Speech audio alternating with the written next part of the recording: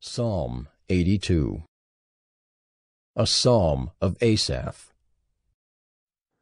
God has taken his place in the divine council.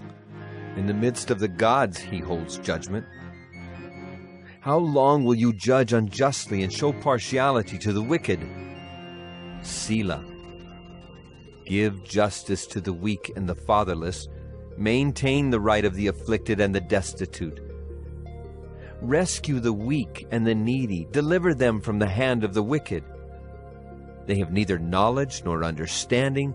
They walk about in darkness. All the foundations of the earth are shaken.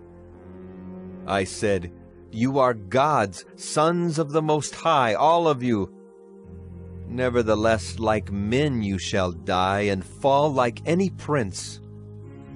Arise, O God, judge the earth for you shall inherit all the nations.